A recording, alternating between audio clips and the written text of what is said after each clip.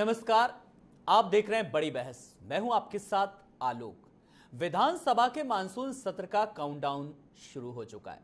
गुरुवार से शुरू होने वाला सत्र भी पिछले सत्रों की तरह ही सत्ता पक्ष और विपक्ष के बीच खींचतान का गवाह बन सकता है।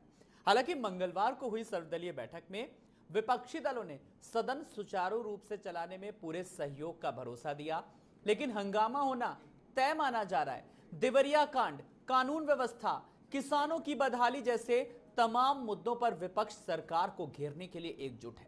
मानसून सत्र की अवधि कम रखने पर विरोधी दल पहले ही नाराज़गी जता चुके हैं। उनका आरोप है कि सरकार विपक्ष का सामना करने से कतरा रही है। कांग्रेस विधानमंडल दल नेता दूसरी तरफ़ सरकार भी विपक्ष से निपटने के लिए तैयार नज़र आ रही है।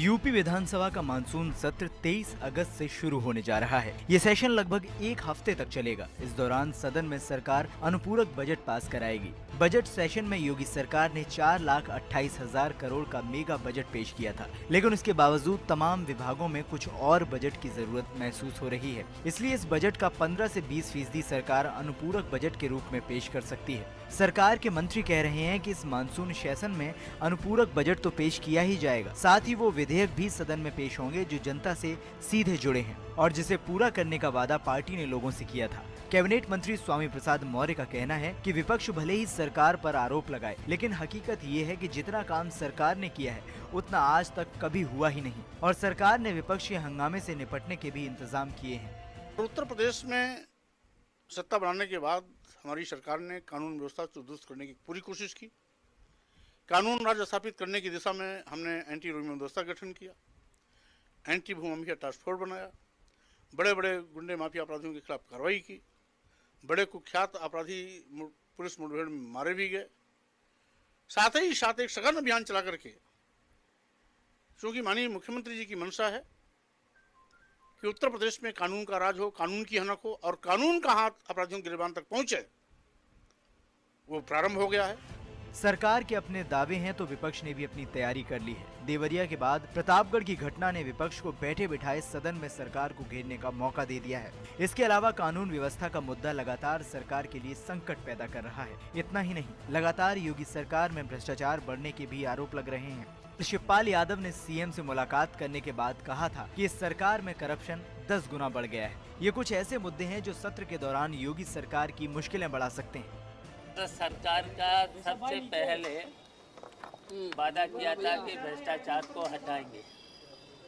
तो और भ्रष्टाचार कम से कम कम से कम दस गुना बढ़ा है पूरे प्रदेश में।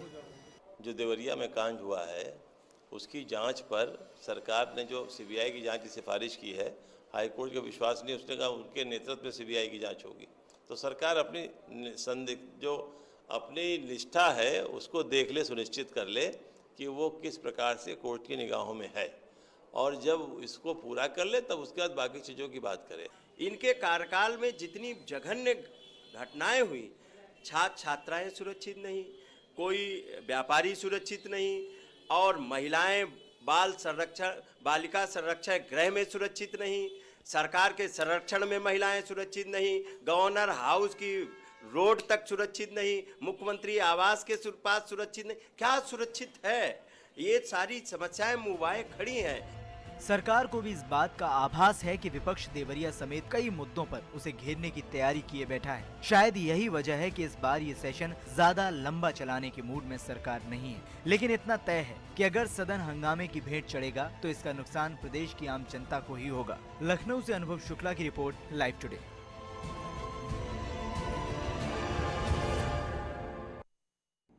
मानसून सत्र के हंगामेदार रहने की पूरी संभावना है। विपक्ष जहाँ सत्ता पक्ष को कई मुद्दों पर घेरने की कोशिश करेगा तो वहीं सत्ता पक्ष भी विपक्ष के हमलों को करारा जवाब देने के लिए तैयार है। बहस को आगे बढ़ाएँ, उससे पहले सत्र को लेकर सत्ता पक्ष और विपक्ष का क्या कहना है, जरा सुन लेते हैं। बैठक आहूत करते हैं। उसी परंपरा का निर्वाह करते हुए माननीय अध्यक्ष जी ने यह बैठक आहूत की थी। और माननीय मुख्यमंत्री जी ने और हमने सभी लोगों से ये अनुरोध किया है कि सदन की कार्यवाही में सुचारू रूप से चले। इसलिए सब सब लोग सहयोग करें। उत्तर प्रदेश में आज कानून व्यवस्था बद से बदतर है। अराजकता का माहौल है। अभिव्यक्ति की आज़ादी समाप्त हो गई है। कोई भी व्यक्ति अगर मुद्दों को, समस्याओं को लेकर सड़कों पर प्रदर्शन कर रहा है तो लगातार तानाशाही रवैया अपनाते हुए भारतीय जनता पार्टी की सरकार उसे लाठियों से पीट कर जेल भेजने का काम कर रही है। आज जिस तेज़ी के साथ लड़कियाँ छोटी छोटी बच्चियों के साथ बलात्कार की घटनाएँ आ रही हैं, उन विषयों को लेकर हम विधानसभा में सरकार को घेरने का काम करेंगे। गन्ना किसानों का एक भारी बकाया जो लगभग साढ़े तेरह हज़ार करोड़ रुपया है, उस मुद्दे को लेकर भी हम सदन के पटल पर रखकर सरकार को घेरने का काम करेंगे। विरोध करता हूँ कि सरकार सत्र को चलाना नहीं चाहती। दूसरा, जो कम समय का सत्र है, इसमें आज प्रदेश की अनेक समस्याएँ हैं। कानून व्यवस्था की स्थिति बद से बदतर होती जा रही है। महिलाओं के खिलाफ अत्याचार कम से 28 से 30 परसेंट की वृद्धि हुई है। लूट और डकैती में भी भारी वृद्धि हुई है। ये सारे कानून व्यवस्था के जो मामले हैं, उसको भी हम लोग सदन में उठाने का काम करेंगे। तो ये सत्र नहीं आसान, बस इतना समझ लीजिए। अगर हम ये बात कहें तो शायद कोई अतिशयोक्ति नहीं होगी। लेकिन कुल मिलाकर के राजनीतिक दल अब कहीं ना कहीं समझ रहे हैं। कि अगर सत्र में कुछ चर्चा होगी, कुछ चीज़ों पर अगर मंथन होगा तो कुछ चीज़ें बेहतर होंगी। क्योंकि अगर सत्र, अगर बात करें इस पूरे मामले में कि अगर किसी कार्रवाई नहीं होती है, सहमति नहीं बनती है तो पैसा आम जनता का ही लगता है। ऐसे तमाम सारे सवाल हैं जो आज हम आए हुए मेहमानों से जानने और समझने की कोशिश करेंगे क्योंकि सवाल सीधे तौर पर हम और आपसे जुड़ा हुआ है। मेरे साथ जो मेहमान जुड़े हैं सबसे पहले आए हुए मेहमानों से परिचय करा देते हैं। बीजेपी की तरफ़ से अमित तिवारी जी हैं हमारे साथ कांग्रेस की तरफ़ से अंशु अवस्थी जी हैं समाजवादी पार्टी की तरफ़ से आलोक त्रिपाठी जी हैं और वरिष्ठ पत्रकार प्रभात त्रिपाठी जी हैं। आप सब मेहमानों का बहुत बहुत स्वागत है। और चूँकि आज हम चर्चा कर रहे हैं मंथन कर रहे हैं कि जो मानसून सत्र है वो किसी तरीके से बहुत छोटा सा है ये छह दिन का है और इसमें क्या कुछ सुचारू रूप से मंथन हो सकता है बहस हो सकती है।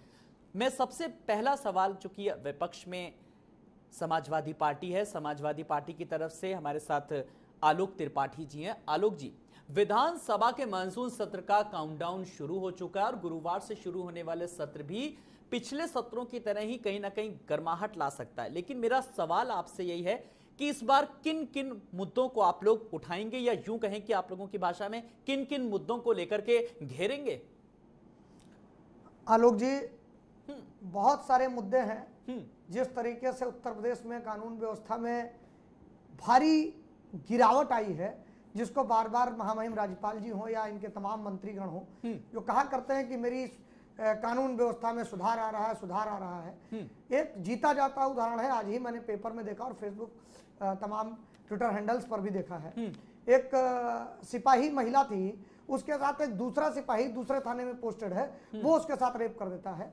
तो अब आप ये बताइए कि एक महिला सुरक्षित एक महिला सिपाही जो। आरक्षी है वो सुरक्षित नहीं है उत्तर प्रदेश में। शेल्टर होम में बच्चियाँ सुरक्षित नहीं है। राज्यपाल गवर्नर हाउस के गेट पर लूट हो जाती है। एक गार्ड की हत्या हो जाती है। उसके परिवार को सरकार मात्र दो लाख रुपए देकर के पल्ला झाड़ लेती है उस परिवार का कैसे निर्वहन होगा? अच्छा आलोक जी ये और बता दीजिए कि मतलब ये मुद्दे उठाएँगे मतलब ऐसा तो नहीं है कि इससे पहले के जो सत्र थे उसमें आप लोगों ने एक पैरलर विधानसभा लगा ली राज्यपाल के ऊपर आप लोगों ने कागज़ की गोलियाँ फेंकी ये सब तो नहीं करने का विचार है। ये तो चलो मुद्दे हो गए चर्चा होगी। हाँ। अगर सरकार हम विपक्ष की बात सुनना चाहेगा तो विपक्ष सुनाएगा। हम्म। अगर सरकार विपक्ष के साथ अपना रवैया ठीक नहीं रखेगा हम्म। तो विपक्ष भी मजबूर है विपक्ष करेगा। विपक्ष तो जनता की चीज़ों को लाके आपके सामने है अंशु जी सरकार तो सुनती है लेकिन विपक्ष जो है ना अलग एक पैरलर विधानसभा चला लेता है कागज़ की गोलियाँ बना के राज्यपाल के ऊपर फेंकता है फिर अगर सवाल पूछा जाता है तो वो कहते हैं हम तो वो सवाल पूछ रहे थे राज्यपाल के ऊपर गोलियाँ फेंक के फिर ये जवाब आता है देखिए आलोक जी हम्म। सबसे पहली बात तो ये कि हम्म। आप देखिए कि इतिहास में ऐसा कम हुआ होगा कि इतने कम समय का सत्र रखा गया हम्म। कल श्रद्धेय अटल जी की श्रद्धांजलि सभा करके सत्र स्थगित हो जाएगा बिल्कुल परसों उसकी तैयारी को लेकर सत्र स्थगित रहेगा। उसके बाद शनिवार रविवार। चार दिन तो ऐसे निकल गए आप संघ सरकार की गंभीरता समझ सकते हैं और कितनी तेज़ी से ये भाग रहे हैं चर्चा से इस पर भी देख सकते हैं। देखिए चार अहम मुद्दे हैं उत्तर प्रदेश में। चाहे वो इंफ्रास्ट्रक्चर की बात हो रोज़गार की बात हो अपराध को लेकर हो या जो रोज़गार देने की बात। हर मोर्चे पर जो भी इन्होंने वादे किए थे कि हम सत्तर लाख रोज़गार देंगे पाँच साल में यानी चौदह लाख प्रतिवर्ष आज 16 महीने से ज़्यादा हो गया एक साल से ऊपर लेकिन आज भी बीजेपी ये नहीं बता पा रही कि हमने कहाँ पर रोज़गार दिए जी। अपराध के नाम पर जिस तरीके से 40 प्रतिशत महिलाओं के साथ छेड़खानी बलात्कार और हत्या के मामलों में इजाफा हुआ और यहाँ तक हद तो ये है कि कोई महिला मुख्यमंत्री के पास आती है उसकी सुनवाई नहीं होती वो वापस जाकर फांसी लगाती है। एक बाप को जान देनी पड़ती है और अपनी बेटी को इंसाफ दिलाने के लिए आज भी उस आरोपी विधायक को जिसको सीबीआई ने चार्जशीट किया आरोपी पाया बीजेपी ने आज भी उसको अपने संगठनात्मक स्तर पर कोई कार्रवाई नहीं की। उल्टा ये जो भी बलात्कार के आरोपी हैं इनके पूर्व गृह मंत्री मैं नाम लूँगा चिन्मयानंद सरस्वती महाराज उनके ये मुकदमे वापस लेने में मस्त व्यस्त हैं और मुख्यमंत्री जी सिर्फ़ चलिए ये विपक्ष ने अपनी अपनी बात कह दी कि तो ये जो जनता की जो समस्याएँ है महिलाओं की सुरक्षा का मुद्दा है और वादा किया हाँ, और शेल्टर होम में जो भी कुछ हुआ भूमि अधिग्रहण का मामला है ऐसे तमाम सारे मामले हैं जिनको लेकर के विपक्ष है, ये सत्ता पक्ष को घेरेगा। मैं जरा अमित जी के पास आ रहा हूँ। अमित जी, आप लोगों ने जो तमाम सारे मुद्दे हैं, इनको लेकर के क्या कुछ तैयारियाँ की क्योंकि मुद्दे अब उन्होंने बता दिए। लॉ एंड ऑर्डर मुद्दा सबसे ज़्यादा प्रमुखता से उठाया जा रहा है।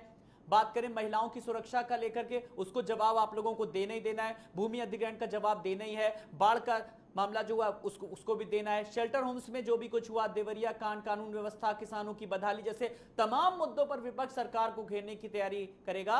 और यहाँ पर भी बताया अंशु जी ने भी और आलोक जी ने आप लोग किस तरीके से क्या कुछ तैयारियाँ की हैं? जरा जन, जनता भी जानना चाह रही है। देखिए आलोक जी कल सर्वदलीय जब बैठक हुई है हाँ। तो उसमें हमारे मंत्री माननीय सुरेश खन्ना जी ने साफ़ कहा कि हम विपक्ष से चाहेंगे कि वो तथ्यों के आधार पर अपनी बात रखे। सरकार पूरी तरीके से तैयार है विपक्ष के हर बात का जवाब देने के लिए। आ- अब ये लोग जुट के वहाँ पे हल्ला बोलने का काम करेंगे जी। तो कैसे चलेगा? नहीं हम तथ्यों की बात कह दी अब वो कह तो हैं महिलाओं अब क्या ठीक है, में है चलिए अमित जी अपनी पहली पूरी बात देखिए ये बता दें कि कल- अपराध बढ़ा कल का डेमो आप लोग प्लीज़ यहाँ मत दीजिए आज मत दीजिए कल का। जी जी चलिए मैं। अमित जी से अमित अमित जी अपनी बात पूरी कर लीजिए चलिए हाँ। जहाँ तक कानून व्यवस्था की ये लोग बात करते हैं मैं आंकड़ों के साथ बैठा हूँ आज। हाँ। मैं ये नहीं कहता कि हमारे यहाँ कानून व्यवस्था पूरी तरीके से हमने कंट्रोल कर रखी है। बढ़ गई मुझे मुझे बोलने दीजिए अमित जी अमित जी अपनी बात पूरी करने दीजिए दो हज़ार सोलह और 17 का जो हमने मार्च तक का लिया है समाजवादी पार्टी में डकैती एक सौ सत्ताईस एक सौ हैं। रुक जाइए अमित रुक जाइए मैं पूछ रहा हूँ रुक जाइए। सरकार में आए सर एक एक करके यहाँ पे सदन मत बनाइए यहाँ पे सदन मत बनाइए। पिछले आंकड़े ना गिनाने के लिए आए हैं क्या? यहाँ पर सत्ता आलोक जी ये सवाल सर मैं आ रहा हूँ। जनता से सर भयंकर समाज का वादा अंशु किया। जी एक मिनट में अमित जी को अपनी बात पूरी करने फिर मैं भी आ रहा हूँ अभी। एक एक करके मैं सवाल पूछ रहा हूँ। ना भयमुक्त समाज का वादा सर आप लोगों ने मैं यहाँ पर कोई हम और आप जज नहीं बैठे कि समाज क्या? ठीक है। अपराध पड़े। ठीक है ठीक है। मैं उन्हीं पर मैं अभी उन पे आ रहा हूँ। मेरे लिए सब, मैंने अमित जी के लिए खास सवाल तैयार करके रखे हैं। पूछेंगे जो विपक्ष के सवाल है मैं पूछूँगा अभी। अमित जी से जवाब लूँगा। अमित जी को अपनी बात पूरी करने दीजिए पहले जल्दी से। हाँ। तो हम हर तरीके की बात का इनका जवाब देने के लिए तैयार हैं।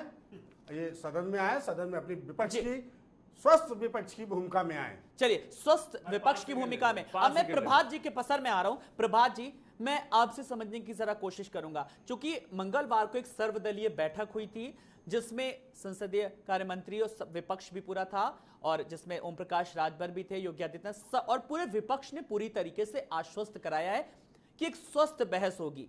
लेकिन हर बार तो यही होता है कि सर्वदलीय बैठक में होता है विपक्ष कहता है कि हम पूरा साथ देंगे और मुद्दों पर बात होगी। लेकिन उसके बाद भी जब कार्रवाई जैसे शुरू हो जाती है तो देखिए फिर क्या हंगामा शुरू हो जाता है। लेकिन इस बार आपको क्या लग रहा है? क्योंकि मुद्दे सबके सामने हैं। कानून व्यवस्था किसानों की बदहाली जैसे तमाम मुद्दे विपक्ष सरकार को घेरने के लिए काफ़ी है। देखिए आलोक जी हाँ। सदन जो होता है जब सदन आहूत किया जाता है जी। तो सदन आम आदमी की जो बात जो समस्या है उनको जनप्रतिनिधि वहाँ रखते हैं। और जो क्वेश्चन अवर होता है उस क्वेश्चन अवर को पूरा होना चाहिए। बिल्कुल सर। नंबर एक नंबर दो यार सदन मैं तो 93 से सदन को कवर कर रहा हूँ। मैं देख रहा हूँ कि जो ये सर्जरी बैठक होती है ना ये सिर्फ़ चाय बिस्कुट तक सीमित रहती है।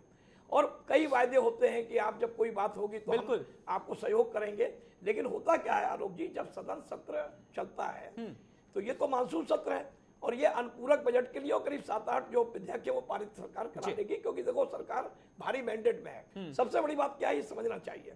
सरकार जब जो भी सरकार हो देखिए कभी ये विपक्ष में थे ये सत्ता में थे और इस तरीके की नूरा कुश्ती होती है होती थी, मैच फिक्स होता है जी। ये लोग सड़क पे संग्राम नहीं करते। हैं सिर्फ़ सदन पे अपनी बात चाहे विपक्ष हो चाहे सत्ता हो। सत्ता पक्ष अपनी बात रखता है कि मैंने ये किया विपक्ष कहता है आपने कुछ नहीं किया जंगल राज है कानून खराब है निश्चित तौर पे उत्तर प्रदेश की कानून व्यवस्था पे कल भारी हंगामा होगा कल हो सकता है श्रद्धेय अटल जी को श्रद्धांजलि देने के बाद लेकिन असली जो विधानसभा सत्र चलेगा वो सोमवार को चलेगा और अनुपूरक बजट आएगा। लेकिन सबसे बड़ा चिंता का विषय है कि सदन जनता की एक पूंजी मतलब पूंजी है। सदन में जो पैसा खर्च होता है अरबों रुपया खर्च होता है एक बार सदन चलाने में चाहे सत्ता पक्ष के सदस्य हो या विपक्षी हो जी। उनको चाहिए कि स्वस्थ परंपरा से वहाँ बहस करें। क्या होता है व्यक्तिगत आक्षेप लगना शुरू हो जाते हैं। वो डिरेल हो जाता है मामला। जिस मामले में बहस शुरू होती है चाहे वो क्वेश्चन अवर में हो चाहे वो शून्य अवर में हो मतलब ज़ीरो ओवर में लेकिन वो व्यक्तिगत दुश्मनी व्यक्तिगत कटुता पे वो सदन जो है आ जाता मैंने तो 95 में जब माइक चले थे मैं उसका शिकार हुआ था सदन में खूनी संघर्ष हुआ था। उसके बाद माइक हटा दिए गए वहाँ से। लेकिन आज जिस तरीके से विधानसभा सत्र का जो कल सत्र आ रहा है उसमें अग्रिम जमानत का एक विधेयक है वो भी जो है सरकार पास करा देगी। और निश्चित तौर पर अनुपूरक बजट तो हर बार पास हो जाता है और हर सरकार अनुपूरक बजट देती है। लेकिन मेरा ये कहना है कि आप बहस करें और बहस को स्वस्थ बनाए रखने के लिए सत्ता पक्ष की भी ज़िम्मेदारी है कि वो अपने जो कम विधायक है जो विपक्ष में उनकी चीज़ को समझे भावना को समझे और विपक्ष को ये चाहिए कि वहाँ हंगामा करके गोले ना फेंके बिल्कुल सत्ता पक्ष को भी समझने की ज़रूरत है और विपक्ष को सहयोग करने की ज़रूरत है। अब मैं जरा अमित जी के पास आ रहा हूँ। अमित जी आज आपने कहा था कि मैं आंकड़े लेकर के आया हूँ और विपक्ष कानून व्यवस्था को लेकर के सीधा सीधा सवाल पूछ रहा है। मैं बहुत पहले की बात नहीं कर रहा हूँ, ना ही मैं एनसीआरबी के आंकड़े की बात कर रहा हूँ, ना ही मैं कानून व्यवस्था को लेकर के जो आप लोगों ने एनकाउंटर की बात की, मैं कोई बात नहीं कर रहा हूँ। मेरे पास पिछले 12 से 24 घंटे की, सिर्फ़ 12 से 24 घंटे की अमित जी बात कर रहा हूँ। मेरे पास जो आंकड़े हैं, मेरठ में जो तस्वीर सामने आई है, एक छात्रा को घर में घुसकर मारा पीटा गया और ज़िंदा जलाने का, ज़िंदा जलाने का सनसनीखेज मामला सामने आया है और छेड़छाड़ का विरोध करने पर सरदना कस्बे में शुक्रवार को सुबह मंचलों ने घर में घुसकर दसवीं कक्षा की छात्रा और उसके परिजनों पर हमला बोला। ये एक मामला है, मेरठ का ही दूसरा मामला है, लिसाड़ी गाँव में जहाँ पर बेटी से छेड़खानी का विरोध करने पर दबंगों ने पिता की चाकू से गोद कर हत्या करी और पुलिस ने हत्यारे को चाकू के साथ गिरफ़्तार कर लिया। अमित जी, अगर आप वो तस्वीर देखते, जो लड़की है, उसने खून से लिखा है कि एसएसपी साहब, मुझे इस, जो मुझे उलझन हो रही है, जो मुझे दिक्कत हो रही है, जो मुझे असहनीय पीड़ा हो रही है, उससे बचाइए। बदायूं का मामला देख लीजिए। बदायूं के मूसा जाग में प्राइमरी स्कूल में नाबालिग से गैंगरेप का मामला सामने आया है। ये तो सिर्फ़ 12 घंटे के मामले हैं। मैं कोई आंकड़ों की बात नहीं कर रहा। तो विपक्ष क्यों नहीं सवाल उठाएगा बताइए? जी बिल्कुल। घटनाएँ हुई हैं। उनकी जितनी निंदा की जाए कम है लेकिन कार्रवाई भी हो रही है। अपराधी चाहे कितना भी प्रभावशाली हो सरकार नहीं झुक रही है प्रशासन नहीं झुक रहा है। जो कि पिछली सरकारों में होता था। सर पिछली सरकार पिछली का सरकारों में होता था। हमारी इस सरकार में हमारी बताइए। सरकार हमारी सरकार हाँ। का सीधा सा सीधा सा लक्ष्य है हाँ। संकल्पता है कि अपराधी चाहे जितना बड़ा हो जी। उसका स्थान जेल होगा उसका स्थान तो कितने अपराधी आप लोगों ने अब तक भेज दिए जेल में? जी फिर तो विपक्ष को ये मुद्दा ही नहीं उठाना चाहिए। एनकाउंटर खुले हो। रहे हैं फिर तो आलोक जी हाँ। सात हज़ार अपराधी। जी। एक साल में सात हज़ार अपराधियों को जेल में गए। और वो अपराधी जिनका कोई रिकॉर्ड नहीं था जिनका कोई रिकॉर्ड नहीं था तभी तो आप लोग विपक्ष का कहने का मौका देते हैं। नौ हज़ार। जब अखिलेश जी ने जब ट्वीट करके कहा कि कौन से अपराधी मारे गए पता ही नहीं चल रहा ये तो। नौ हज़ार। नौ हज़ार हाँ। अपराधियों ने अपनी हाँ, जमानत निरस्त कराना है एक अपराधी ठीक है। फर्जी इनकाउंटर हाँ, करके हो। अंशु जी अंशु जी अंशु जी को अपनी बात रखने दीजिए जरा। फर्जी इनकाउंटर ठीक है। हाँ, एक महिला को ज़िंदा जला दिया जाता है और ये सरकार हाथ पर हाथ रखकर बैठी है। आप समझ सकते हैं इनकी इनसे बस इतनी ही उम्मीद करिए कि जो अपराधी हैं उनके मुकदमे वापस लेने का काम ज़रूर हो रहा। शिक्षा मित्रों के साथ कहा था कि 90 दिन में हम आपको स्थायी समस्या दे देंगे 16 महीने से ज़्यादा हो गए। अनुदेशकों को इस सरकार ने घोषणा कर दी कि आपको हम चौरासी सौ पचास रुपए से सत्रह हज़ार देने जा रहे हैं। आपको बता दूँ अप्रैल 17 से और 18 नहीं, खैर का शिक्षा अगस्त मित्रों की हम यहाँ पर बात नहीं करेंगे। वो जो पिछली सरकार ने जो परंपरा डाल रखी है ना वो उसी को वर्तमान सरकार भुगत रही है अब तक। वो शिक्षा मित्रों की हम बात नहीं करेंगे। उस आदमी पर हाँ। इन्होंने लाठीचार्ज करने का काम किया जिसने अपनी आवाज़ उठाई और सरकार के खिलाफ खड़ा होने का दुस्साहस किया। कल इनके भारतीय जनता युवा मोर्चा के गुंडे सड़क पर गुंडई कर रहे थे उसको एक अधिकारी क्या पुलिस प्रशासन पे जिस तरह से कार्रवाई की गई? देखिए, आप राजनीतिक क्या- दल के हैं, क्या पुलिस प्रशासन पे कार्रवाई करके मनोबल गिराने का काम नहीं किया जा रहा? है ऐसे ऐसे दूसरे दल के लोग वाक्यों प्रदर्शन करेंगे। दूसरे दल के प्रदर्शन करेंगे तो लोकतंत्र में सबको अधिकार है। आलोक- जी अपनी बात रखिए ठीक है ठीक है। वो गुंडे थे। वो गुंडे चलिए थे। देखिए एक संयमित भाषा का इस्तेमाल करेंगे। अब ये आपकी अपनी राय हो सकती है। देखिए यहाँ पर एक संयम आप एक रेपुटेटेड चैनल में बैठे हैं। ठीक है यहाँ पर ठीक है ठीक है सर सर एक भाषा का संयम भाषा का संयम लगातार बनाएँगे। चलिए आलोक जी। आलोक जी राजनीतिक कार्यकर्ता पुलिस अधिकारियों पर थप्पड़ मारने का काम नहीं करता वो गुंडे थे वो पिछली सरकारों में भी ऐसे ऐसे ऐसे मामले सामने आए थे। इससे आलोक इससे आलोक जी इससे आलोक जी इनकार नहीं कर सकते? अधिकारियों को किस तरीके से रुलाया गया था वो सब पिछली सरकार ने सब देखा। अरे। अरे इसका जवाब मुझे लगता है की आपके गठबंधन के साथी अमिताभ ठाकुर जैसे लोगों को किस तरीके से नेताजी ने धमकाया था। यूट्यूब पे वो वीडियो वायरल हुआ था। जी आलोक जी इस बात को बखूबी समझते हैं। चलिए चलिए आलोक जी वो वो पिछली सरकार में भी चीज़ें सामने आती थी। ठीक है आलोक जी इस सवाल का जवाब दीजिए। वो पिछली सरकार में भी चीज़ें सामने आई थी। अमिताभ ठाकुर को किस तरीके से वो वीडियो वायरल हुआ था? नेताजी ने भी हड़काया था। कम तो ये परंपरा तो आप ही लोगों ने डाली है। नहीं हाँ। उसमें मैं आपको सर सर मैं- एक एक करके मैं- एक एक करके मैं- रुके मैं- मेरा मेरा आलोक जी से सवाल है। हाँ। इस बात को कहना चाहता हूँ कि अमिताभ ठाकुर जी को माननीय नेताजी ने अभी चार दिन पहले आईओ साहब से इस बात को कहा है कि उसमें आवाज़ मेरी है मैंने समझाने की दृष्टिकोण से उनको फ़ोन किया था। वो मुझे गार्जियन मानते थे मेरी सरकार में अच्छी अच्छी पोस्टों पे रहे हाँ। और उच्च पदस्थ पोस्ट पे रहे। और हमने उनको हमेशा उनको आशीर्वाद दिया उनको हमेशा छोटे भाई की तरह माना। मैंने उनको कुछ गलत चीज़ों पर सलाह देने के लिए समझाने के प्रयास से फ़ोन किया सलाह नहीं कहते सर, सर, सर, जी। नहीं नहीं। जिसको ये कहते हैं कि जब YouTube पे आप डालेंगे ना अमिताभ ठाकुर आलोक जी, उसको- नेताजी उसको वो आवाज़ सामने आएगी आप खुद भी सुन लीजिएगा हाँ, अगर आपने वो है, आवाज़ सुनी होती तो आप ये ना कहते जी मैंने सुना है हाँ। उसमें अमिताभ जी ने हाँ। जो काम किया शायद आज तक आज तक के किसी भी अ, मतलब इतनी सरकारों में जिस भी बड़े नेता ने किसी अधिकारी को अगर टेलीफोन किया होगा हम्म। तो ये नहीं पूछता कौन बार बार पूछ रहे नेताजी कौन कौन नेताजी हाँ। कैसे बात करेंगे क्या बात करेंगे हाँ। तो नेताजी कहा मैं बोल रहा हूँ हाँ। फला बोल रहा हूँ और तुम ये सब क्या कर रहे हो? ये सब ठीक नहीं है। हाँ। तुम मुझसे मिलना इस बात का क्या मतलब है? इस बात का क्या मतलब है? फिर तो कि- आ- तो आ- कि एक गार्जियन क्या कर रहे हो? एक गार्जियन अभी अभी एक गार्जियन अपने बच्चे को कैसे ये शब्द थे नेताजी के अभी तुम हमें जानते नहीं हो। ना, ना, ये चीज़ें क्या ये कहा था ये कहा था ये कहा था अभी तुम हमें जानते नहीं हो। चलिए मैं हो सकता सच ना हो चलिए मैं इस सवाल रुक जाइए। रुक जाइए मैं प्रभात जी से इस सवाल का जवाब दूँगा।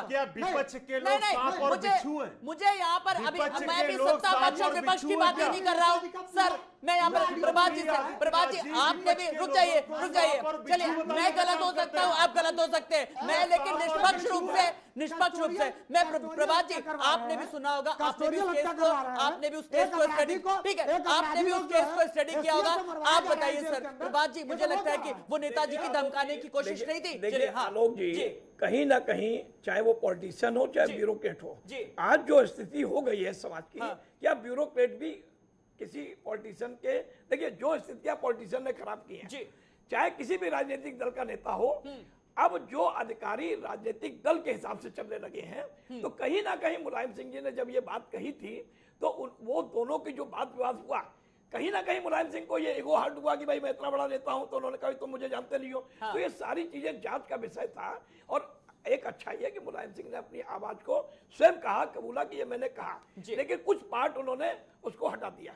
धमकी की बात आई थी एक आईपीएस के ऊपर लेकिन आईपीएस को भी कहीं ना कहीं अपनी मर्यादा का पालन करना चाहिए था। ये बहुत विवाद रहा पूरा और ये जाँच का विषय है मैं इस पर नहीं जाऊँगा। हम लोग चर्चा कर रहे हैं सदन की। हम लोग चर्चा कर रहे हैं कल आयु आहुत होने वाली सदन की। आज जब आपके डिबेट में तीन पार्टियों की एक मत नहीं है एक राय नहीं है किस तरीके से ये अखाड़ा बन रहा है डिबेट तो सदन अखाड़ा क्यों नहीं बनेगा? सदन अखाड़ा बनने से तब रुकेगा जब हमारे विधानसभा अध्यक्ष को चाहिए जो एक पत्रकार भी है स्पीकर है वो हृदय दीक्षित जी कि जो विधायक देखिए एक सबका एक टाइम है क्वेश्चन नंबर होता है सबको पूछने का सवाल पूछने का अपना सवाल लगाते हैं जवाब होता है। सत्ता पक्ष को भी ये चाहिए कि विपक्ष के कम लोग जो हैं अगर वो कोई ज्वलंत मुद्दे सदन में रख रहे हैं तो उस पर गंभीरता से विचार करें। देखो क्या होता है अक्सर लास्ट में मुख्यमंत्री आते हैं कानून व्यवस्था में आधा घंटे बोले और चले गए। लेकिन पहले ये होता था आलोक जी कि अगर जो विपक्ष के लोग होते थे अगर उन्होंने एक अपनी कोई बात समस्या रखी तो मुख्यमंत्री वही चिट पे लिख देता था चाहे वो गोविंद वल्लभ पंत हो चाहे हेमवती नंदन बगुड़ा हो और काम इमीडिएट हो जाता था और इम्प्लीमेंट हो जाता था। और जो जनता की समस्याएँ हैं अगर विपक्ष आपको घेर रहा है तो कहीं ना कहीं आप उस कसौटी में आप अपने आप को कसिए कि विपक्ष अगर आपको आईना दिखा रहा है कानून व्यवस्था खराब है चाहे देवरिया कांड हो चाहे कुछ भी हो और सड़कें खराब है पानी नहीं मिल रहा है गरीबों को बिजली नहीं मिल रही है या जो भी चीज़ें हैं। अगर विपक्ष रख रहा है तो आप उसको स्वयं पूर्वक सुनिए। बिल्कुल हृदय नारायण दीक्षित जी ने भी कहा कि ये एक स्वस्थ लोकतंत्र की परंपरा है और बिल्कुल निष्पक्ष रूप से बहस होनी चाहिए। पर सवाल यही है कि अब कल की अगर बात करें तो विपक्ष भी पूरा कहीं ना कहीं एकजुट नज़र आ रहा है कांग्रेस बीएसपी और समाजवादी पार्टी। और अगर विपक्ष एकजुट है तो कहीं ना कहीं कल की सदन की कार्रवाई में गठबंधन का अक्स भी दिखने वाला है, इससे गुरेज नहीं किया जा सकता। कुछ और चीज़ों को समझेंगे। फ़िलहाल एक ब्रेक के लिए रुक रहे हैं। बड़ी बहस जारी है। मेहमान बने हुए फ़ौरन हाजिर होते हैं।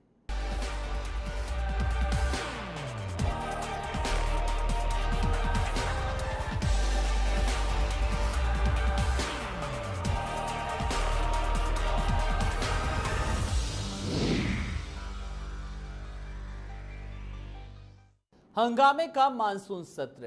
ब्रेक के बाद बड़ी बहस में आपका स्वागत है। गुरुवार से शुरू होने वाला सत्र भी पिछले सत्रों की तरह ही सत्ता पक्ष और विपक्ष के बीच खींचतान का गवाह बन सकता है क्या? ब्रेक में जाने से पहले तमाम सारे सवाल और जवाब हुए थे और बड़ा मुद्दा जो जी निकल करके आई वो है लॉ एंड ऑर्डर कानून व्यवस्था को लेकर के। मैं इस पर अमित जी से एक सवाल का जवाब चाहूँगा। अमित जी, कानून व्यवस्था एक बड़ा मुद्दा है, जिसको कई उदाहरण भी हमने गिनाए, चाहे वो एनसीआरबी के आंकड़े हो, चाहे वो पिछले 24 घंटे की तस्वीर हो, जो मामले सामने आए। और विपक्ष भी यहाँ पर बैठा, सबसे बड़ा मुद्दा इसी चीज़ को उठा रहा है। लेकिन इसको लेकर के अगर सीएम योगी आदित्यनाथ की बात करें तो उन्होंने कल एक अधिकारियों के साथ बैठक करी और सीनियर आईपीएस अफसरों के साथ। पुलिस अधिकारी जिस तरह से घटनाओं को खारिज कर रहे हैं उससे लगता है कि योगी जी संतुष्ट नहीं है। यानी कि जो अफसरशाही है उससे कहीं ना कहीं सरकार हारती नज़र आ रही। इस बात को आप लोग मानते हैं कि नहीं? कि उस पर लगाम लगाने की ज़रूरत है? बिल्कुल बार बार हमारे मुख्यमंत्री जी कहते हैं हाँ। कि लगाम लगेगी हाँ। चाहे जो अधिकारी होगा काम नहीं करेगा हम्म। तो उसका चाहे जितनी भी उसके पास अपनी पकड़ हो वो पद पे नहीं होगा। तो आप बता दीजिए कितने लोगों पर इस तरीके की अब लापरवाही की कार्रवाई की है? कार्रवाई हाँ, चल रही है बैठा है कमेटी बैठी है हाँ, देख रही है कौन से अधिकारी कैसे काम कर रहे हैं। दूसरी बात पिछले चौदह पंद्रह साल से जो इन अधिकारियों की आदत बिगड़ी हुई है हाँ, उसको सुधारने में थोड़ा टाइम लगेगा। नहीं तो अब तो चौदह महीने हो गए हैं सर। अब अब चौदह पंद्रह महीने हो गए हो। गए अब ये बहाना नहीं चलेगा। ले आइए ना ट्रैक आई है कमी आई है आलोक जी। लेकिन जो अपेक्षा हमें थी उतनी कमी नहीं आई है। आप आंकड़ों को देखिए उसमें कमी आई है। लेकिन हम उससे संतुष्ट अभी नहीं है। हमारी सरकार संतुष्ट नहीं है। हम कानून व्यवस्था भ्रष्टाचार इन मुद्दों तो अंशु जी फिर अब आखिर ऐसी सरकार की मजबूरी क्या है फ़िलहाल? देखिए मैं तो बहुत विनम्रता से कहूँगा कि अधिकारियों की कार्यशैली जो 14-15 साल की बात की हम्म। हमारे बीजेपी के साथी ने यही अधिकारी पिछली सरकार में थे। हम तो एनसीआरबी हम्म। के आंकड़ों पे जाते हैं लाइन ऑर्डर की बात हो रही है। हम्म। यही अधिकारी पिछली सरकार में भी थे। उस समय अपराध कम होता था। घटनाएँ कम होती थी। तो आखिर आज आप अधिकारियों के जिम्मे आप जब विपक्ष में थे तब भी अधिकारियों को दोष देते थे। शुरुआती छह महीने में सरकार गठित होने के आप अधिकारियों पे मरते रहे। हम्म। सत्रह महीने हो गए आप कब तक अधिकारियों के सहारे अपनी नैया को पार लगाएँगे? पहली बात। दूसरा देखिए बेरोजगारी सबसे बड़ा मुद्दा है। उत्तर प्रदेश में इस सरकार के बनने के बाद ये महसूस किया जा रहा था कि निश्चित तौर से भ्रष्टाचार पे लगाम लगेगी। समाज कल्याण विभाग में 10 लाख दस 10 करोड़ से ज़्यादा का घोटाला हुआ और समाज कल्याण मंत्री कहते हैं इसको दबाए रहो इसको उठाना मत। तो इनके नेता सिर्फ़ बयानबाजी में है। एक उप मुख्यमंत्री कहते हैं कि माँ सीता टेस्ट ट्यूब बेबी है। मतलब काम पर ध्यान नहीं है। चलिए यहाँ पर सारी चलिए बातों पर मुद्दों को लेकर के नहीं क्योंकि एक युवाओं को क्या चाहिए? एक अदद रोज़गार। तो मैं मैं मैं, युवाओं से जुड़ा एक बहुत बड़ा मुद्दा है। मैं प्रभात जी से जरा एक सवाल का जवाब ले लूँ। सर प्रदेश के नौजवान को ठीक है, ठीक है, हाँ, युवाओं के रोज़गार से संबंधित मेरा, ठीक है। बड़प्पन दिखाकर चर्चा में भाग ले भागे मत भाग ले। चलिए ये एक सरकार के लिए नसीहत हो सकती है विपक्ष की तरफ़ से प्रभात जी जिस जिन युवाओं को रोज़गार की अगर हम बात करें तो लगातार योगी आदित्यनाथ जी ने भी कहा है कि पाँच लाख रोज़गार के अवसर हर साल सरकार देगी और लगातार जिस तरीके से बिज़नेस मीट हो रही है इन्वेस्टर सबमिट किया जा रहा है तो ये चीज़ें आखिर विपक्ष को क्यों नहीं नज़र आ रही हैं देखिए आलोक हाँ। जी निश्चित तौर पे देखिए सरकार थोड़ा हर सरकार प्रयास हाँ। करती है कि जो उसने अपने चुनावी घोषणा पत्र में अगर कहा है तो उसको पूरा करें देखिए दो दो इन्वेस्टर मीट हुई बिल्कुल। वन डिस्ट्रिक्ट वन प्रोडक्ट एक योजना हाँ, हाँ। इस सरकार ने चालू की जी। और हर ज़िले में जहाँ जहाँ जिनके जो उत्पाद थे उस पर उन्होंने उनको बढ़ावा देने की हाँ। बात की सबसे बड़ी चीज़ देखो क्या होता है आलोक जी कि आपके प्रदेश का माहौल क्या है बिजली कानून व्यवस्था कोई भी इन्वेस्टर अगर आपके प्रदेश में आता है तो सबसे पहले सड़क बिजली और कानून व्यवस्था। ये तीन बहुत महत्वपूर्ण चीज़ होती है। निश्चित तौर पे 16 महीने अगर योगी के हो, सरकार के हो गए हैं सवाल उठेंगे छह महीने सात महीने तक आपसे कोई सवाल नहीं पूछेगा। लेकिन अगर हर मोर्चे पे कहीं ना कहीं कोई परेशानी है जनता को तो सवाल आप ही से पूछा जाएगा। और मैं आपको बता रहा हूँ आलोक जी योगी जी एक शरीफ आदमी हैं ईमानदार हैं जी। और मेहनत भी कर रहे हैं रात दिन मेहनत कर रहे हैं। जी। लेकिन उनके जो नीचे के मंत्री हैं जी। और जो अफसरशाही है वो इनको सफल नहीं होने दे रहे क्योंकि सेंटर पावर खुले हुए हैं। दिल्ली से पीएमओ से बचा दिया जाता है अधिकारियों को। पीएमओ अपनी मर्ज़ी से पंचतल में बैठाता है आदमी को। पीएमओ अपनी मर्ज़ी से गाइडलाइन तय करता है। योगी जी के बारे में मैं कह सकता हूँ कि वो प्रयास कर रहे हैं। सोलह महीने में उन्होंने प्रयास किया है। तेईस करोड़ आबादी का ये उत्तर प्रदेश है बहुत बड़ा प्रदेश है। निश्चित तौर पर सवाल उन्हीं बिल्कुल योगी जी के काम पर किसी को भी किसी तरीके की कोई मंशा पर सवाल नहीं है लेकिन जो अफसरशाही है वो कहीं ना कहीं गुमराह करती है। और ऐसे कई मामले सामने आए चाहे वो गोरखपुर का बीआरडी मामला हो। जब बच्चों की मौत का मामला सामने आया। उससे एक हफ़्ते पहले, दो दिन, एक दिन पहले मुख्यमंत्री जी वहाँ पर गए भी थे बीआरडी हॉस्पिटल में। उन्होंने अधिकारियों से पूछा भी कि वहाँ पर सब ठीक ठाक है तो उन्होंने साफ़ तौर पर कहा। इसीलिए साफ़ तौर पर कि अफसरशाही कहीं ना कहीं इस पर लगाम लगाने की ज़रूरत है। आलोक जी, जिस रोज़गार को लेकर के अगर बात करें तो इन्वेस्टर समिट का वर्तमान सरकार ने आयोजन करवाया। आप लोगों ने भी करवाया। हालाँकि इतना सक्सेस नहीं हुआ। लेकिन वो तमाम सारी चीज़ें डिपेंड करती हैं जैसा कि आपकी ट्रैफिकिंग व्यवस्था कैसी है लॉ एंड ऑर्डर कैसा है वहाँ पर तमाम सारी चीज़ों पर निर्भर करती है सब चीज़ें। आप लोगों की सरकार में हुआ लेकिन ज़्यादा ध्यान नहीं दिया लेकिन वर्तमान सरकार कोशिश तो कर रही है और बहुत सारी चीज़ें भी सामने आ रही है रोज़गार को लेकर के। तो दिक्कत कहाँ पर है? कुछ कोशिश तो हो तो रही है कुछ। आलोक जी हाँ। आप ये जानिए जो इन्वेस्टर समिट है हाँ। वो इतना बड़ा मज़ाक है उत्तर प्रदेश की जनता के साथ। जो इन्होंने किया है जितना इन्वेस्टर समिट में लोगों को बुलाया जिन जिन लोगों को बुलाया मैं बीजेपी के प्रवक्ता साहब से और सरकार से सबसे इस बात को पूछना चाहूँगा अपने वरिष्ठ पत्रकार बड़े भैया साथी से भी पूछना चाहूँगा कि उन चीज़ों को इन्होंने इन्वेस्टर समिट में शामिल किया जिनको माननीय अखिलेश यादव जी की सरकार में एग्रीमेंट साइन हुआ जो लोग उत्तर प्रदेश की तरफ़ रुक कर चुके थे उन लोगों को शामिल इन्होंने किया। जो। लोग ऑलरेडी अरे भाई धीरू भाई अंबानी आलोक जी कभी लड़कों इस चीज़ पर मंथन किया कि आप लोग इन्वेस्टर्स को क्यों नहीं आमंत्रित कर पाए? क्योंकि लॉ एंड ऑर्डर व्यवस्था आपके समय में एकदम भ्रष्ट थी एकदम भ्रष्ट थी कोई आना नहीं चाहता था। किस अच्छा बता दीजिए आपकी सरकार के समय में कोई इन्वेस्टर क्यों आए- आता? ये बता दीजिए यूपी में अपना प्लांट लगाने है। पैसा बर्बाद करने के लिए हूँ। पैसा फेंकने के लिए आता क्या? नहीं बताइए मुझे इस सवाल का जवाब दीजिए। हाँ। लाख करोड़ की योजनाएँ ले आए अखिलेश जी ले आए। हाँ, व्यवस्था आपके समय में आलोक जी आलोक जी कोई तीन चीज़ कोई तीन चीज़ें ऐसी बता दीजिए जो अच्छी थी। आलोक जी है ठीक है। ठीक है फर्जी लूलू कर सैमसंग सैमसंग लावा सुनिए सुनिए सर एक एक करके मैं आलोक जी को मौका दे रहा हूँ मैं आलोक जी को रुक जाइए। यहाँ पे अरे सुनिए। प्लीज़ एक एक करके। चलिए आलोक जी ठीक है। अमित जी अमित जी मुझे आलोक जी से सवाल पूछने दीजिए। से सुनना चलिए हाँ आलोक जी तो मुझे आलोक जी मैं आपसे पूछ रहा हूँ ना सवाल बस मैं आपको मैं बता रहा मौका हूँ दे रहा हूँ। मैं डिबेट नोएडा करा रहा हूँ। हाँ नोएडा हाँ। में ओप्पो को जगह अखिलेश सरकार में दी गई। सैमसंग को जगह अखिलेश सरकार में दी गई। लावा को अखिलेश जी की सरकार में दिया गया। लूलू माल उत्तर लखनऊ में जो बन रहा है वो ऑलरेडी पिछले पाँच साल से बन रहा है ठीक है? आपने क्या दिया? आपने धीरू भाई अंबानी की जिस परियोजना को दिखाया कि दस हज़ार करोड़ रुपया उत्तर प्रदेश सरकार में उत्तर प्रदेश में इन्वेस्ट करेंगे आपने जब सेवन जी का उनको एक लाइसेंस जारी कर दिया है तो उनकी तो मजबूरी है कि उत्तर प्रदेश में इन्वेस्ट करेंगे उस पे नहीं लगाएँगे। डाल लेते हैं आलोक जी जो एक्सप्रेस वे पे जो हाँ, गड्ढा हुआ है और और सर जो काम नहीं हाँ, हाँ, कारनामा बता रहे बता रहे बता रहे। कहने का मौका आप लोग को आज में जी दिया है। सुनिए सुनिए सुनिए सर, ठीक है, पहला एक्सप्रेस बोलिए वे जरा, है मैं कह रहा हूँ वो एक्सप्रेस वे बनाया गया। जिस गड्ढे की आप बात कर रहे हैं जिसमें गाड़ी गिरी है। जो लोग गाड़ी पर चल रहे थे उनको खुद नहीं आइडिया था क्योंकि वो गूगल मैप से चल रहे थे। वो मेन रोड पे ना चल करके वो सर्विस लेन पे चल रहे थे। सर्विस लेन पे काम अधूरा था। जिस गड्ढे की बात ये लोग बार बार कर रहे हैं उस गड्ढे की बात मैं इनसे पूछ रहा हूँ आज लखनऊ में वो तो एक्सप्रेस के साइड लेन की बात कर रहा हूँ सर। उत्तर प्रदेश के राजधानी में जो कोई ऐसी सड़क नहीं। सर आप लोगों ने क्या किया? ये देख लिया पूरा जब जब सत्ता पक्ष कहता है कि गीली पिच पर बैटिंग नहीं हो सकती तो ये भी ये भी बात छुपाई नहीं जा सकती। साइकिल ट्रैक की आप लोग जिसकी बात कर रहे हैं उसमें सब उसमें हाँ। उसमें क्या चल रहा है? देखिए हाँ चलिए अंशु जी लगता है मुझे हाँ बिल्कुल मुझे आप अपनी बात रखिए। हाँ, आगरा एक्सप्रेस वे पे घटना हुई पहली बात तो सर्विस लेन पे हुई। और सत्रह महीने से उत्तर प्रदेश में बीजेपी की सरकार है। क्या सत्रह महीने में उसको मेंटेनेंस की आवश्यकता नहीं है पहली बात हम्म। प्रधानमंत्री जी जिसका उद्घाटन करके आते वो तो एक महीने के अंदर उसमें गड्ढे हो जा रहे हैं। हम्म। तो सवाल तो ये है कि ये भ्रष्टाचार में लिप्त हैं या वो सत्रह महीने उसका नहीं तो मेंटेनेंस कर करके उसको मत करें ना कमज़ोर सरकार। सवाल ये है। चलिए मैं एक गड्ढे की वजह से क्या गुणगान नहीं होना जी।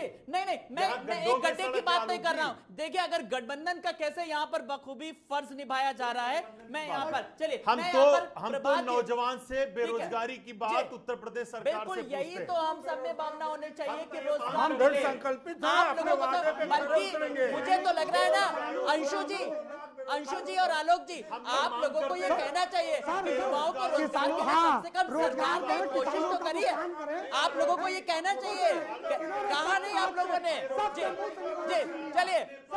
मुझे इन राजनीतिक दलों की बात नहीं सुननी। अंशु जी मैं प्रभात जी के पास आ रहा हूँ। प्रभात जी मुझे लगता है कि हम युवाओं की बात करें मुझे इन राजनीतिक दलों को सिर्फ़ और सिर्फ़ अपनी सियासत करनी है। यूपी को लेकर के बात करें जो बेरोजगार साथी हैं जो जिन्हें चाहिए एक अदद रोज़गार कुछ शुरुआत तो हुई ये कम से कम विपक्ष की भी नैतिकता कभी कभी यहाँ पर मेरे कि कोशिश तो हुई है एक कोशिश तो हुई है कम से कम। मैं चलिए आप लोग राजनीति यहाँ छोड़ दीजिए। मुझे प्रभात जी से सवाल का जवाब देने दीजिए। प्रभात जी को गुमराह करने का काम किया गया? तो हुई काहे कुछ नहीं? जी। इन्वेस्ट इन्वेस्ट सर करोड़ों सर मुझे हाँ ठीक है एक एक करके रुक जाइए। कितना पैसा उससे कितना सर मैं सवाल पूछ रहा हूँ मैं अपने मुद्दे पर मुझे मुझे प्रभात जी से सवाल का जवाब लेने दीजिए। विपक्ष को कहना चाहिए कि नहीं? प्रोग्राम है। सर सर ठीक है हवा हवाइए तो एक पत्रकार निष्पक्ष रूप से तो बता रहे हैं। देखिए हाँ। आलोक जी हमाम में सभी नंगे हैं कोई भी राजनीतिक दल हो हम्म। हर हर आदमी अपनी पीठ ठोकता है। सवाल इस बात का देखिए सपा जो अपनी बात कह रही है वो अपना पक्ष रखेगी। कांग्रेस अपना रखेगी। कांग्रेस तो पिछले 25 साल से यूपी में है भी नहीं 89 के बाद। नहीं एक आवाज़ तो उठाएँगे प्रभात जी। सुन लीजिए सत्ता में नहीं है बाकी अरे भाई आलोक जी ने सवाल मुझसे किया हाँ, है भाई आप सुन लीजिए। मेरा ये कहना है कि सरकार कोई भी काम करे जो दिखाई दे। हम्म। अगर हम पाँच लाख युवाओं को रोज़गार देने की बात कर रहे हैं तो वो रोज़गार दिखाई भी दे नंबर एक बात। नंबर दूसरी बात हम अगर एक इन्वेस्टर मीट करते हैं सपा ने तो बॉम्बे में इन्वेस्टर मीट की ठीक है ना? अगर यूपी में कोई इन्वेस्टर मीट हो रही है हमें उसके परिणाम के लिए थोड़ा इंतज़ार करना पड़ेगा। हम आपसे कह रहे हैं वन डिस्ट्रिक्ट वन प्रोजेक्ट योजना बहुत अच्छी है लेकिन एक मिनट रुको बेटे नहीं सुनो लीजिए। जिन चीज़ों को ये रहे हैं। सर सर मुझे प्रभात जी की बात आलोक जी मैं आ रहा हूँ। जल्दी से समय बहुत कम है। बस मैं सवाल पूछ रहा हूँ। चल- बात नहीं सर सर सर मुझे मैं आगे नहीं बढ़ूँगा। मैं किसी की बात नहीं सुनूँगा। लेकिन जब तक प्रभात जी की बात बोल रहे हो, अब एक साथ सब लोग ना बोले प्लीज़ आप सबसे गुजारिश है। अमित जी मत बोलिए अभी। चलिए आलोक जी आलोक जी आप इसको कहने वाले कुछ नहीं होते। ठीक है रुक जाइए। मैं मैं ये क्या हो रहा है? ये प्रभात जी से बस मैं सवाल पूछ रहा हूँ ना। ये कोई तरीका नहीं चलिए मैं पीसीआर से कुछ कहूँगा। आलोक जी की आवाज़ दबाई जाए। ठीक है? चलिए। प्रभात जी आप लोग अपनी अपनी आवाज़ को थोड़ा सा थोड़ा सा विराम दे ताकि प्रभात जी अपनी बात पूरी कर ले। मैं सवाल पूछ मैं ये कह रहा था Alok ji one district one product जो योजना है कई ऐसे उद्योग जिलों में जो समाप्त हो रहे थे चाहे बुनकर उद्योग हो चाहे पीतल उद्योग हो चाहे चौड़ा उद्योग हो हाँ। अगर कोई सरकार उस उन उद्योगों को आगे बढ़ाने के लिए अगर योजना लाती है तो हमें उसका स्वागत करना चाहिए। देखिए मैं नहीं कहता हूँ अखिलेश ने भी कुछ काम किए। ठीक है उनके काम लैपटॉप बांटा उन्होंने या उन्होंने मेट्रो बनाई या एक्सप्रेस वे बनाया हमारे मैं तो एक सवाल और उठा रहा हूँ आज की तारीख में। यही योगी सरकार ज़ीरो टॉलरेंस की बात करती है बीजेपी करती है। पिछले मुलायम सिंह के कार्यकाल से मुलायम सिंह की जब सत्ता गई मायावती ने कहा मैं फलाने को जेल भेज दूँगी भ्रष्टाचार में। उनकी सरकार पाँच साल चली। अब योगी सरकार ने अगर अखिलेश सरकार ने बहुत कुछ ऐसे काम किए हैं जो संदेह के घेरे में है तो योगी सरकार क्यों नहीं उन लोगों को जेल भेजती है? क्योंकि ये मैच फिक्स होता है पॉलिटिकल लोगों का राजनीतिक लोगों का। सिर्फ़ हंगामा बरतते हैं। उनका काम है सदन को न चलने देना। हंगामा हो काम डिरेल हो बहस डिरेल हो जितनी बहस होगी उतना सरकार पक्ष की धज्जियाँ उड़ेंगी और विपक्ष उड़ाएगा। तो दो तीन दिन के अंदर अनुपूरक बजट सारे प्रस्ताव पास करा के मैं तो पिछले पच्चीस साल से सदन को देख रहा हूँ ना। अगर आप बहस कराना चाहते हैं तो सत्ता पक्ष को भी विपक्ष को सुनना पड़ेगा।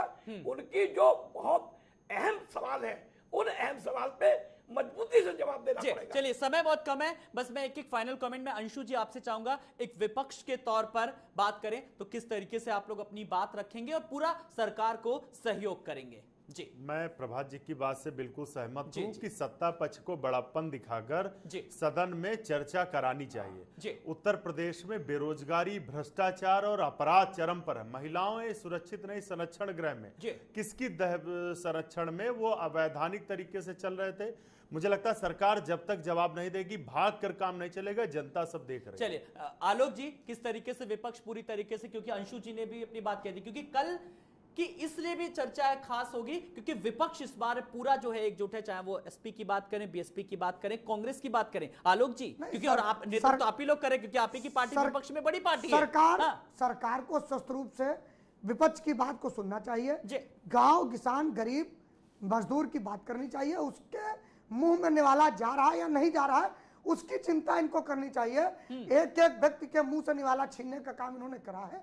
और वो विपक्ष के चार चुनाव में दिखा भी चुका है। हम्म। विपक्ष सरकार को जनता ने इनको जवाब दे दिया। पहली बार कोई सरकार छह महीने में खारिज कर दी गई। ये चीज़ सर जनता ने दिखा दिया। दूसरी चीज़ किसानों का भुगतान नहीं करोगे युवाओं को रोज़गार नहीं दोगे बच्चियों के साथ बलात्कार होगा तो फिर जनता आपको कुर्सी पर बैठने नहीं देगी और विपक्ष इस बात को मजबूती से जी मानना तो पड़ेगा विपक्ष की नाराज़गी है सवाल चूँकि आम जन से जुड़े हुए इसलिए आपको विपक्ष को साथ में लेकर के चलना पड़ेगा। बिल्कुल तथ्यों के आधार हाँ। पे आए स्वागत है। सारे बातों का जवाब देने के लिए सरकार तैयार है। सरकार को जो मैंडेट मिला हुआ इतना मज़बूत मैंडेट मिला हुआ सरकार जनता के प्रति जवाबदेह है। हम्म। पूरी तरीके से विपक्ष अगर स्वस्थ परंपरा के साथ बहस करेगा हम्म। सरकार पूरी बातों का जवाब देगी। जी चलिए सरकार यहाँ पर तो आज डिबेट में सबने बड़े अच्छे से कह दिया कि विपक्ष ने भी कहा वो सहयोग करेगी सत्ता पक्ष ने भी कहा वो पूरी तरीके से विपक्ष को साथ में लेकर के चलेगी। मैं प्रभात जी से एक फाइनल कमेंट चाहूँगा। हम सब चाहते हैं क्योंकि आपने भी कहा ये घूम फिर के जनता की कमाई होती है और अगर बेहतर चर्चा होती है स्वस्थ मुद्दों पर तो कहीं ना कहीं एक स्वस्थ लोकतंत्र की जो परंपरा ये भी आगे बढ़ाती सर आपने तो वो समय देखा होगा जब आपने कहा हेमवती नंदन बहुगुणा जैसे लोग उस समय जब सदन में थे जब एक सवाल पूछने का तरीका होता था। पर वर्तमान में क्या ऐसे फैक्टर्स हैं क्या ऐसे कारण हैं जो सामाजिक प्रतिमान जो है वो बदलते नज़र आ रहे हैं सर? देखिए हाँ। सबसे बड़ी चीज़ क्या है सत्ता पक्ष में हाँ। मुख्यमंत्री अपने कुर्सी में होता है नेता सदन। और अपोजिशन पार्टी के जो नेता प्रतिपक्ष हैं वो बात को जब रखते हैं तो वहाँ पीछे से जो विधायक हंगामा कर देते हैं हाँ। या चाहे विपक्ष हो या सत्ता पक्ष हो मुख्यमंत्री से अगर कोई सवाल किया जा रहा है तो अच्छा हो कि संसदीय कार्य मंत्री और मुख्यमंत्री उसको गंभीरता से जवाब दें और विपक्ष को सुने अगर सदन में चढ़ते गए विधानसभा अध्यक्ष एक पत्रकार भी हैं स्पीकर का बहुत बड़ा रोल होता है सदन को व्यवस्थित तरीके से चलाने का हमारे विपक्षी पार्टी के सदस्यों को और सत्ता पक्ष के सदस्यों को एक संयम पूर्वक सदन को चलने देना चाहिए क्योंकि करोड़ों लोग देख रहे हैं इस सदन को और करोड़ों रुपए खर्च हो रहा है। और अगर ये सदन नहीं चलेगा तो हम लोग एक तरीके से जनता के संग छलावा कर रहे हैं। बिल्कुल। मेरा ये मानना है कि सदन में परंपरा अच्छी हो एक स्वस्थ परंपरा की तरह सदन चले अपनी बात विपक्ष रखे और सत्ता पक्ष उस पर काम करे। और गरीब जनता के लिए प्रदेश की जनता के लिए वो पता है कि अगर कानून व्यवस्था अगर विपक्ष उनके ऊपर आरोप लगा रहा है तो आखिर क्या खामियाँ हैं? हम उन खामियों बिल्कुल एक स्वस्थ परंपरा से होनी चाहिए जो पहले हुआ करती थी और इसमें दोनों को एक दूसरे को सहयोग करना होगा। मुझे लगता है और हम लोग अब जब चर्चा अगली बार करेंगे तो शायद इस पर करें कि हम लोग कुछ मुद्दों पर चर्चा हुई और एक स्वस्थ बहस हुई। तभी मुझे लगता है कि हमारी जो डिबेट है वो भी एक सार्थक बड़ी बहस हुई। फ़िलहाल आप सब मेहमानों का बहुत बहुत शुक्रिया। अमित जी आपका भी अंशु जी आपका भी आलोक जी आपका भी और प्रभात जी आपका भी। तो दिवरिया कांड कानून व्यवस्था किसानों की बदहाली जैसे तमाम मुद्दों पर विपक्ष सरकार को घेरने के लिए एकजुट है। मानसून सत्र की अवधि कम रखने पर विरोधी दल पहले ही नाराज़गी जता चुके लेकिन कल का दिन देखना दिलचस्प होगा। नमस्कार।